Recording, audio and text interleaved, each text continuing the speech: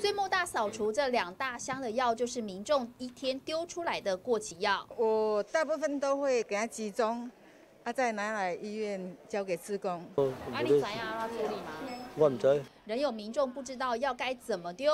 医师提醒，有五大类的药，像是化疗抗癌药、镇定安眠、麻醉止痛。荷尔蒙和抗生素都要拿到医院和药局回收。这个垃圾处理的部分都是用这个高温，然后以及这个呃掩埋的方式。那这些垃圾处理方式其实都可以足以来处理我们一般的一些废弃药品。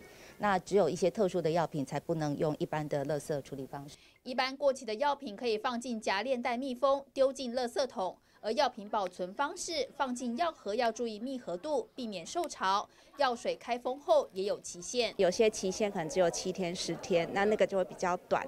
但是，一般没有特别标示药水开封后都可以放一个月。只要药品出现变色、变质，就必须丢掉。遵循正确的丢弃方式，才不会造成环境污染。大爱新闻中心陈立伟高雄报道。